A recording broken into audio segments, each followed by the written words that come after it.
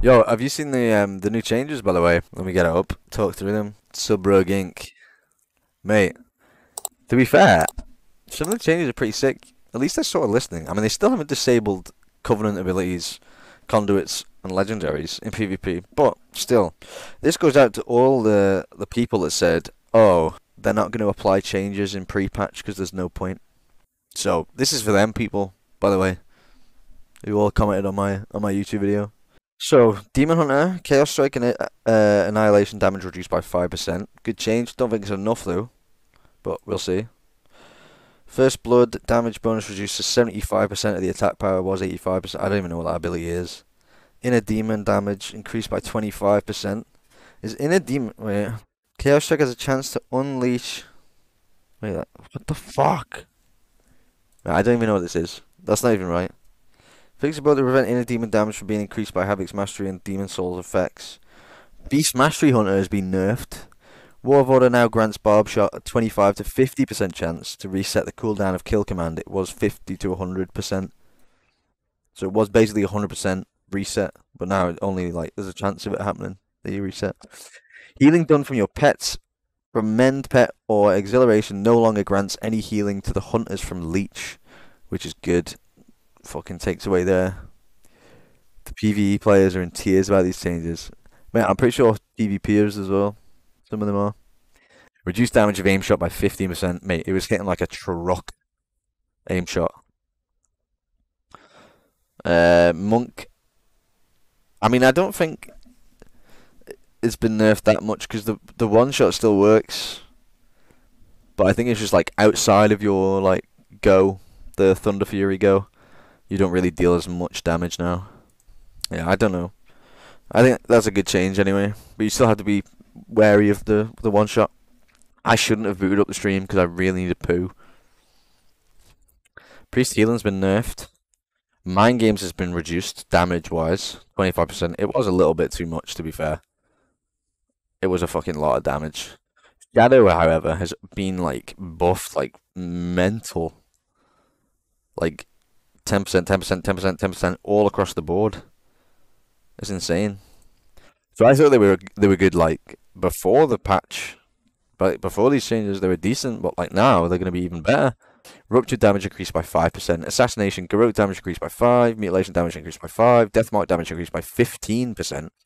Amplifying poison mutilate damage bonus increased to thirty five percent. Was thirty.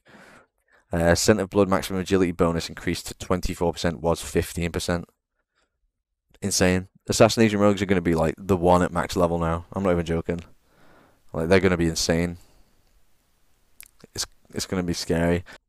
Sub backstab increased. Backstab damage increased by five percent. Eviscerate damage increased by five percent. Shadow strike damage increased by five percent. So this shadow strike damage increased by five percent. So as a sub rogue, right, your shadow strike is classed as ambush. So does that technically mean that ambush has been Shadow Strike's been buffed by 25%. I don't know. Because it's not exclusive to Assassination or Outlaw, right? So I don't know if it has been. Who knows?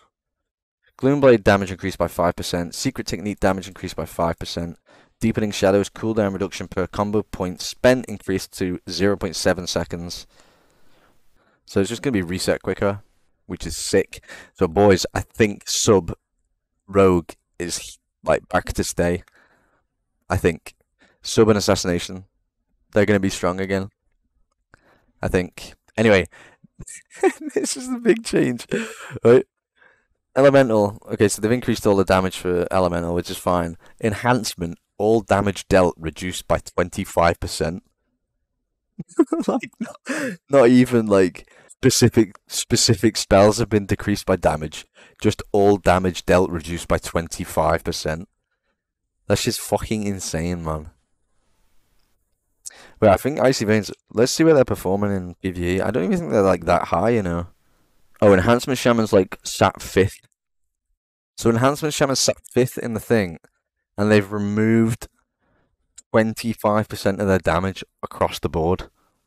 You know how fucking nuts that is. I mean, it's all it's all subject to change still, but like that is fucking insane. It depends if people are gonna notice it or not. Affliction. Fixing issue A, malefic affliction will be removed if another warlock acquired. Okay. Valentine now applies Curse of Exhaustion with a 6 second duration, was 12 seconds, so a bit of a nerf. Sacrolash Dark Strike now extends curses by 0.2 seconds, 0.4 seconds, was 0.5, 1 second. But then Demonology's had a fucking huge buff. Implosion damage increased by 25%. Uh, Bile Scourge Bombers damage increased by 20%. Hand of Gul'dan damage increased by 35%. Guillotine's Fel Explosion damage increased by 25%. Like, they have been fucking... I hate dealing with Demonology locks in PvP now. We're only having it now last 6 seconds was 5 seconds. Madness, blah blah blah blah. Interesting. I'm sorry, but is this really necessary?